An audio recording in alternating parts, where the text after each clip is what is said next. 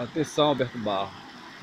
Aqui é o morador da Travessa Projetada, fazendo esse vídeo aqui para enviar especialmente para você, para você ver como é que está essa rua aqui.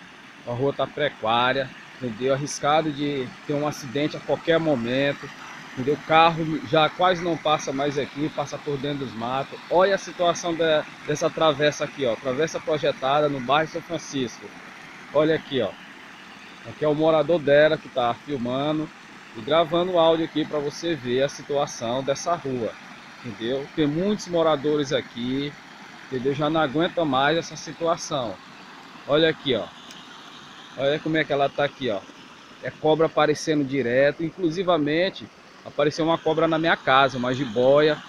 Não cheguei a matar, mas eu acionei o corpo de bombeiro militar, vieram buscar esse animal que é essa cobra que estava no teto da minha casa.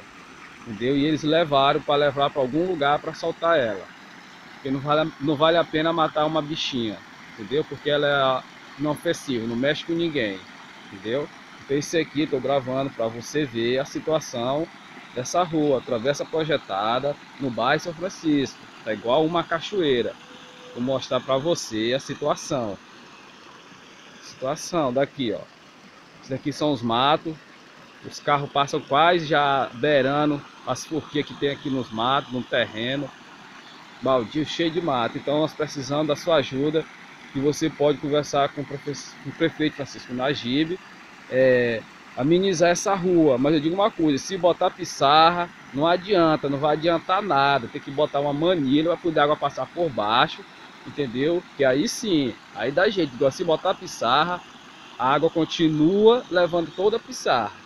Tá bom? Um abraço, meu querido.